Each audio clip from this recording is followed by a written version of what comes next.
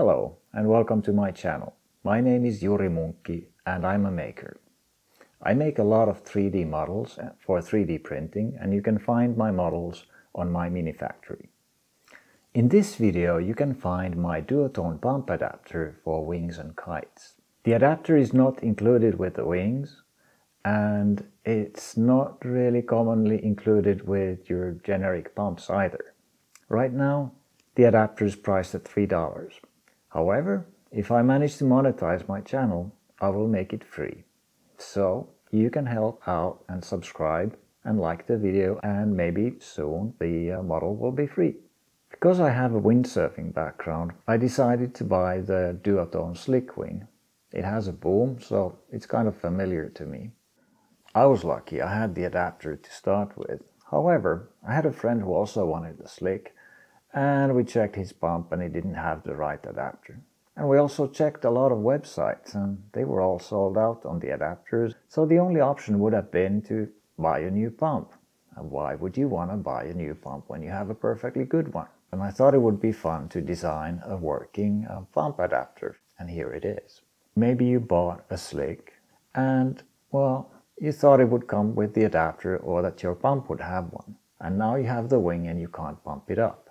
If you have a 3D printer and you have the materials, it just takes about half an hour to make one of these. The adapter consists of two parts. There's the main part and there's a sealing ring. The main part of the adapter is best printed using PLA. Use a good brand that you know is strong and that you can print in high quality. You should try to make this part as strong as possible.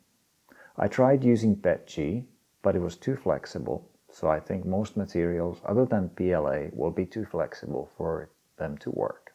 The model I've published already includes supports and you have to remove the supports. This blue part, just snip off the sides here, like that. And then there's some supports in the bottom, like that, in the middle and then two little bits here on the sides. They come out easily like that. And then optionally you can kind of round out these knobs here on the sides a little bit using the pliers.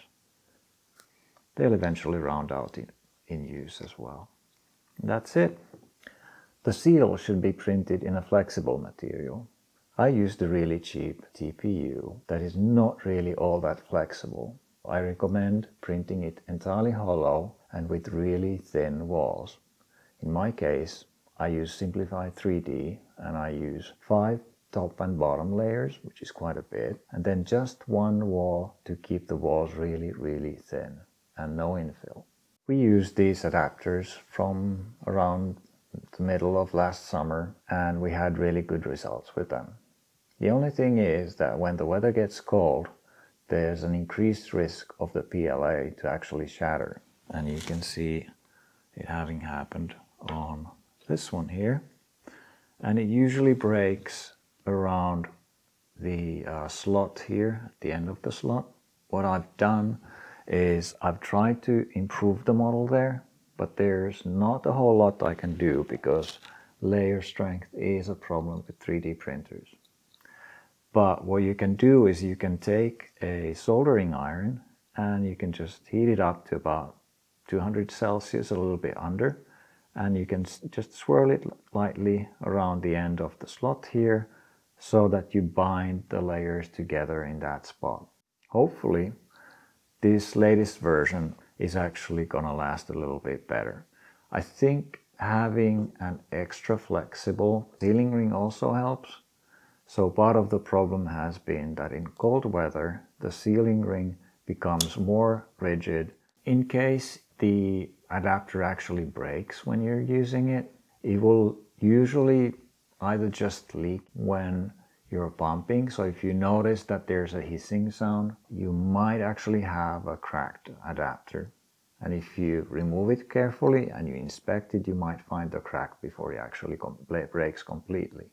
So I recommend printing an extra adapter so you can just switch when this happens.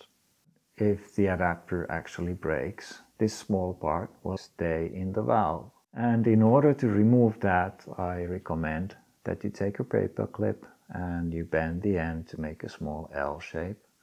And then you have this tiny little tool for fishing out that extra bit from the valve.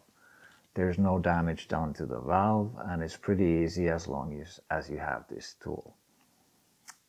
Well, that's it for this video. However, here's a teaser for the next video. I already have a new project and I've been using it and it's been on this video the whole time. Can you guess what it is? Well, it's the boom here. Those booms are actually, there's one here and one there. They're made of ice hockey sticks that I rescued from garbage bins. They're carbon, they're really light.